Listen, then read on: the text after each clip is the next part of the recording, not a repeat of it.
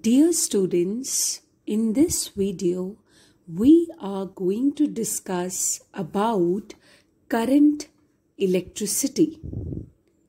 So far, we have been discussing about electrostatics, which is the study of charges at rest.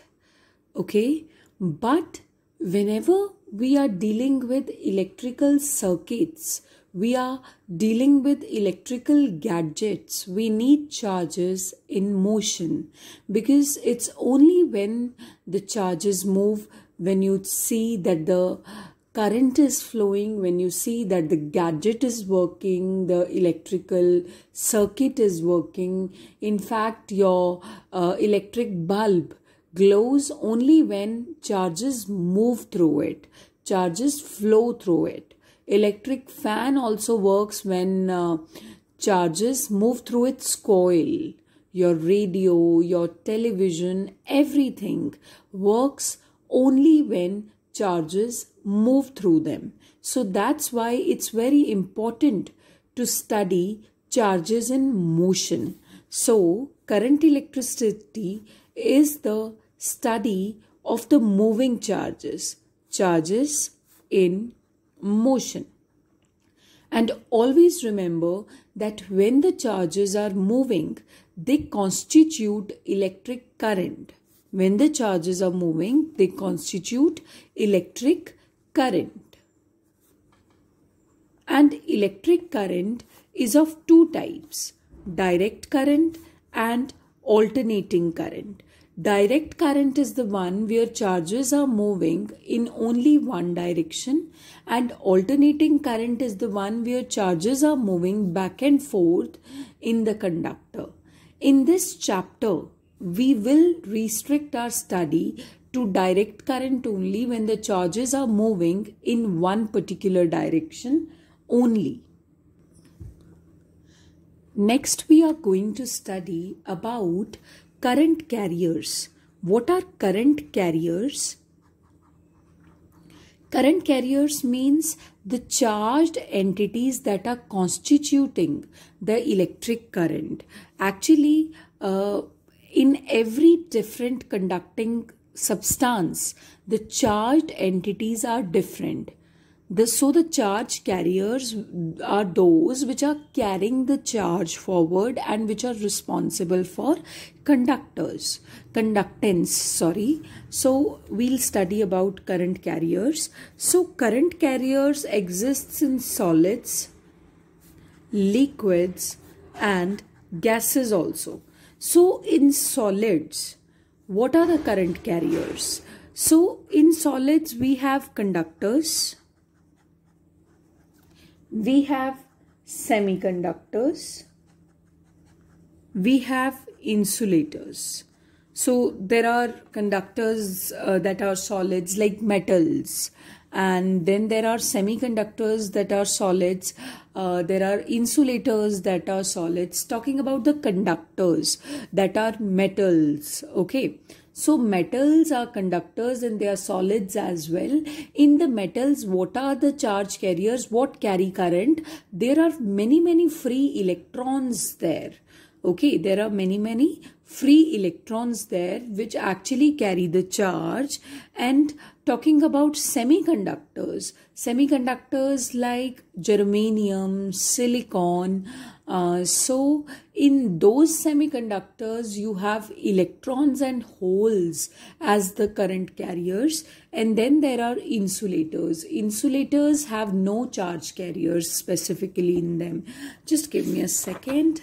See, conductors, solids and conductors.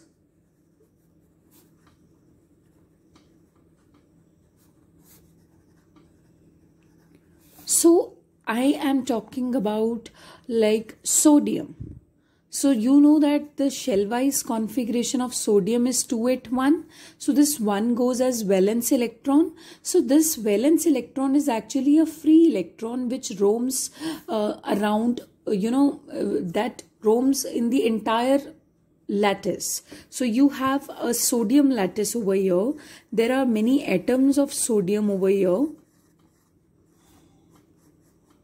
and this is the free electron. So that valence electron free electron it is uh, equally attracted by the nucleus of the other atom. So it can actually jump into the orbit of the other atom where the free electron of that other atom can go to any other orbit. So basically the electrons are not that stable.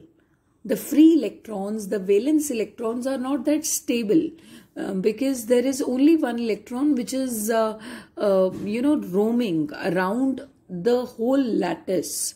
So that's why we call them free electrons. So in case if you will attach the two ends to a battery like you have a positive terminal here you have a negative terminal here so you are already knowing that there are many many free electrons there. So that many free electrons can tend to move towards the positive terminal of the battery and of course they are somehow free electrons. So and what is left behind? Positively charged ion which moves very very slowly. You know impractically you can say that its, its velocity is zero actually. So what happens? So when these electrons tend to move towards the positive terminal and those free, uh, positive ions tend to move towards the negative uh, electrode the negative terminal of the battery. So what are you going to see? That charges are moving. Charges are moving. Current is getting produced. So in metals what are the charge carriers? Free electrons and positive ions. Mostly it's free electrons okay because the ions are very heavy so their velocity is so so so less. So after that we i told you about semiconductors. What are semiconductors? Like germanium silicon their electronic configurations are tricky like they are 284 so neither these four electrons can be lost nor that uh, gain of four electrons can happen. So basically covalent bonding is there. So when covalent bonding is there and the semiconductor is heated up don't you think that the bonds will start breaking? Of course yes. And whenever a covalent bond breaks in case of a semiconductor what happens? A hole is generated and a and an electron is generated. So in case of a semiconductor so in case of uh, semiconductors, what are the charge carriers? Electrons and holes. And in case of insulators, there are no charge carriers because they do not conduct electricity. After that, we have liquids.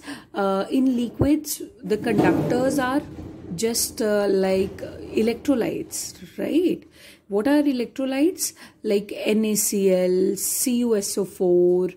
So NaCl when dissociates it will give you Na plus and Cl negative. This Na plus will tend to move towards the negative terminal of the battery and this Cl negative will tend to move towards the positive electrode. You know uh, or Na plus moves towards the negative electrode. So basically what happens in electrolytes, what are the charge carriers? Not the electrons, but the ions, positively charged ions, negatively charged ions. What happens exactly in an electrolyte? Uh, just see here. This is some electrolyte. You've poured it in here. These are the electrodes one is uh, connected to positive terminal and the other is connected to negative. So one becomes positive and the other becomes negative. So now when you have made a solution of NaCl and you see that the ions are dissociated like Na plus Cl negative. Now this Na plus will move towards the negative electrode and this Cl negative will move towards the positive electrode. So eventually the current is produced because charges are moving. Charges are not stationary here.